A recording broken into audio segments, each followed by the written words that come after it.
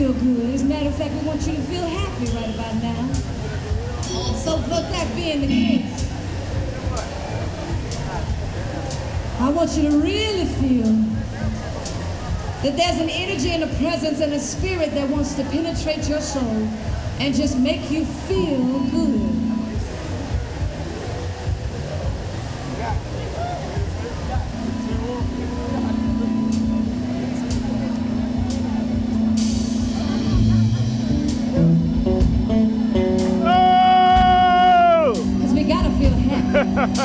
Ha ha ha ha ha.